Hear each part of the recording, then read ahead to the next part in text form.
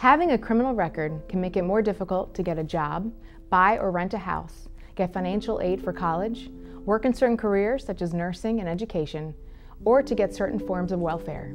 People think their juvenile record is automatically expunged or removed when they turn 18 years old, but that is not the case in Delaware. Every arrest, conviction, and sentence that you may have gotten as a juvenile will stay on your criminal history until you do the work to get it expunged.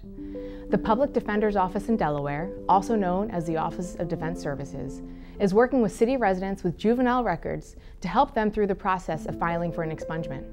Once your juvenile record is expunged, all evidence of the arrest, including police and court records, must be removed from the files and you will then not have to tell any potential employer or landlord that you ever had a juvenile record. You may even be able to get your juvenile record expunged if you're charged with a felony.